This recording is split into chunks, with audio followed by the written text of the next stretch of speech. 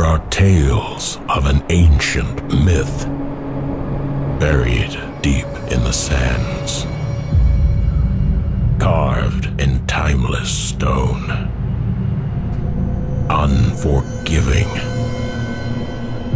unbreakable.